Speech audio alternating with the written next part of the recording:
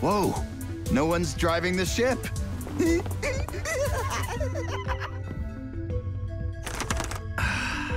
My beautiful captain's chair. My beautiful ship. It's my ship. I'm gonna stick my feet in your dinner.